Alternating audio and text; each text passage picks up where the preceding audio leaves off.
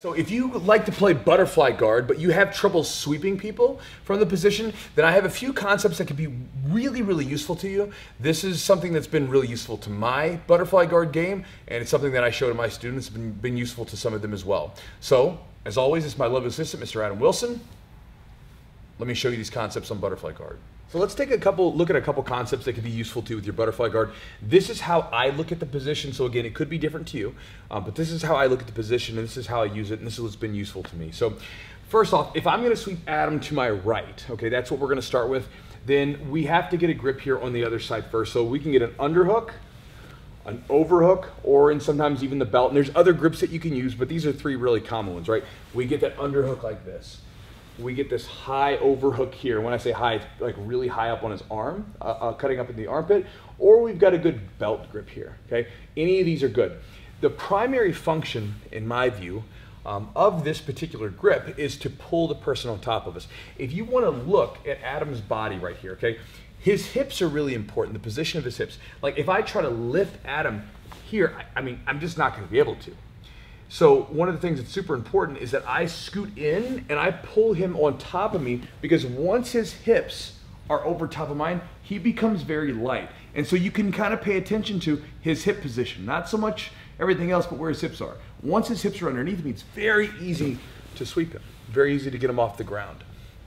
And so a lot of times when we get the underhook here, what are we doing? We're pulling ourselves in, pulling this person up over top of us. If I've got the belt like with an overhook here or here, these again, we're pulling the person up over top of us. Now, the other side, what are we doing over here?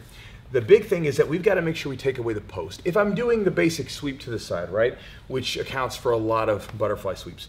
So I've got to take his hand, his elbow, any of that stuff off the mat.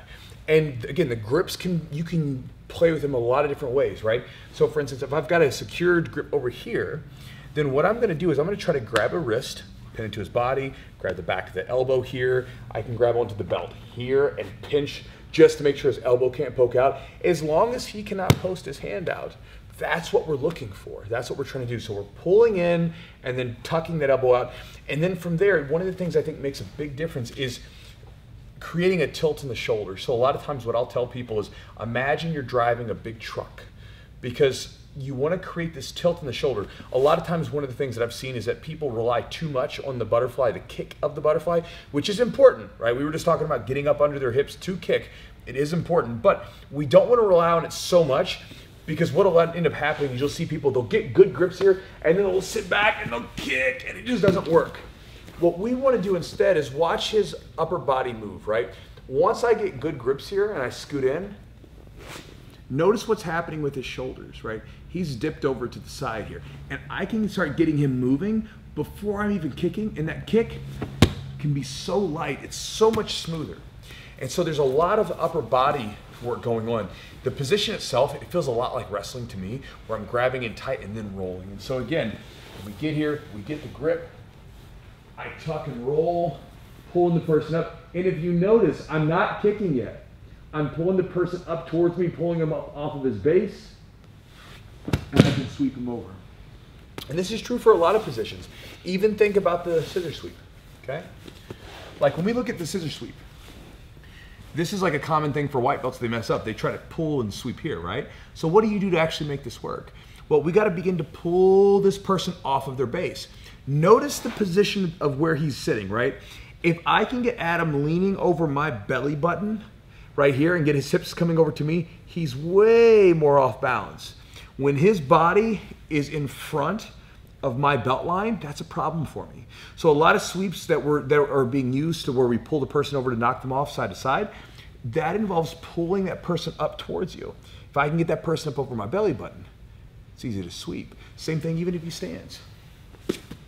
Like let's say if we were just gonna do a basic Tomoe-nage style sweep or any of these sweeps where bring the person up over us, if I'm out here, I can't bring him up, right? But if I bring this person in to where he's just over top of my waistline, he's very light, very easy to lift up. And so that principle is alive and well from the butterfly guard, where again, we're focused on getting this pull in, bring that person up over us, and then from there we can lift flex and go. So that is a few different ideas and concepts that you can think about with butterfly guard. I have a few butterfly sweeps on this channel already, but that's one of the things that makes that position work, right? We're pulling that person, we're trapping the other arm, we're getting a good tilt in the upper body and pulling the person over, and then we can sweep them very easily. So hopefully that's useful to you guys. I'm finished. Adam? Adam.